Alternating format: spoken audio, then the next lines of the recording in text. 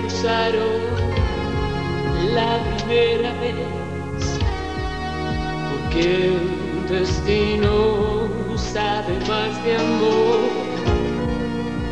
El amor tiene dos caras, tiene derecho y tiene revés.